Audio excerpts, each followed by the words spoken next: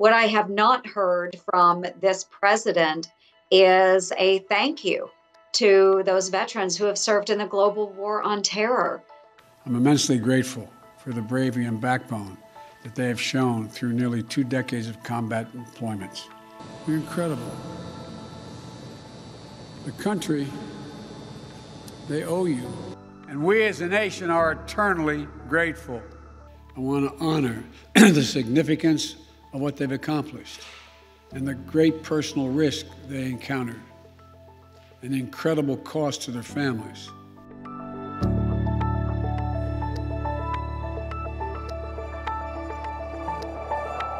Not once has he expressed empathy and gratitude to the men and women who have put the uniform on and have fought so bravely overseas the last 20 years to keep our homeland safe.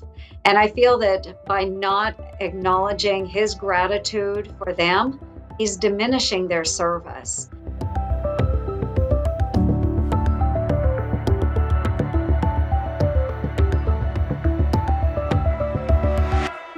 We as a nation are forever indebted to them and to their families. Over the past 20 years, our volunteer force and our military families have made incredible sacrifices for this country.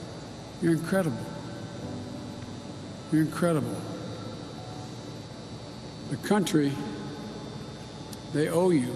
And today, that number is 7,036.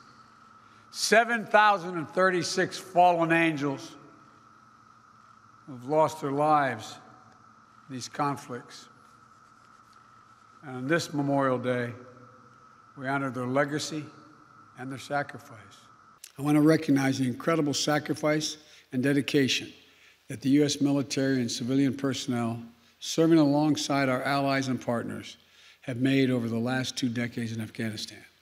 And I ask that you join me now in a moment of silence for all those in uniform and out uniform, military and civilian, who have given the last full measure of devotion.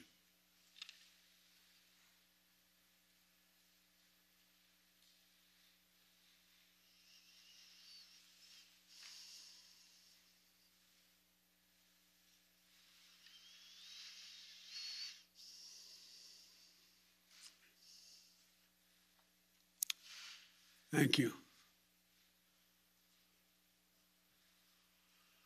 May God bless you all, and may God protect the troops and all those standing watch for America. A lot of our veterans and their families have gone through hell. Deployment after deployment, months and years away from their families, missed birthdays, anniversaries, empty chairs at holidays, financial struggles divorces, loss of limbs, traumatic brain injury, post traumatic stress, duty, honor, country. They lived for it, they died for it. And we as a nation are eternally grateful.